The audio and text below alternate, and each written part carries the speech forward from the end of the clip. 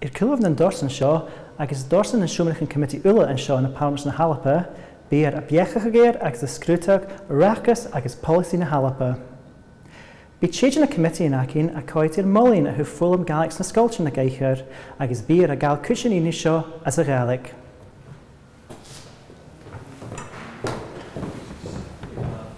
Ha bille fólam alapa ag rialtas na Halapa a dultro farmers na Halapa an drasta, agus ha committee fólam is cultúr na parliaments go scrúteach.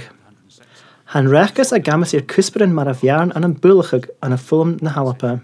A cha dhéan an sa bhile cuideach mo ólam galig, agus mar íomh chláin choramir fólam galig, an dána cuid mar chuspar nó mar bhéon tseiciisc.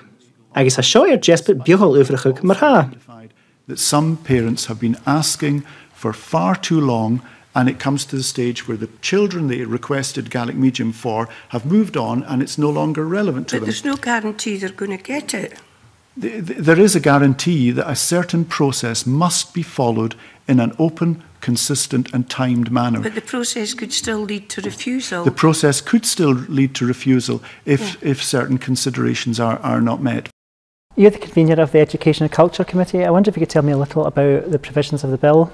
Well, it covers a number of issues. Uh, I think, in particular, one of the ones that's got the main attention is the tackling inequalities.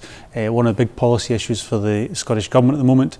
It covers also a number of other areas, such as uh, producing chief education officers in local authorities, and also there's a section on uh, Gaelic education. In particular, that's looking at giving parents uh, the right to request uh, that a local authority looks at the requirement or the need for, or the demand for uh, Gaelic medium uh, primary school education in an area. It doesn't give them a right, but it does give them that opportunity to request it. What have people been saying about the Gaelic provisions in the bill in particular? First of all, for example, should it only be about Gaelic medium primary education? Should it be extended? Uh, should it be a, an entitlement, a right to uh, get that, or whether it should just be a request? Um, and a number of other areas. So clearly there's uh, some, also some concerns. For example, are there enough resources? Will there be enough teachers?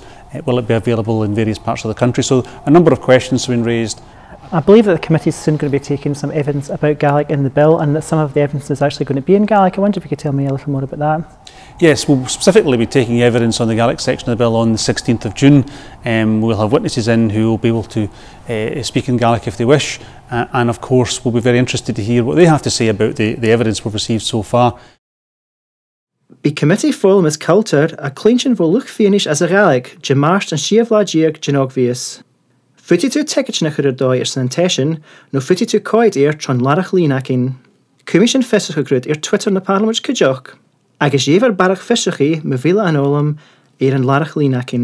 Agus caiinich Gai committee Parliament na Halapa rí finis sa Gaelic ar bilas an bí is hanna na bhain ar an Jona ha cochealte rí sa Gaelic chéin.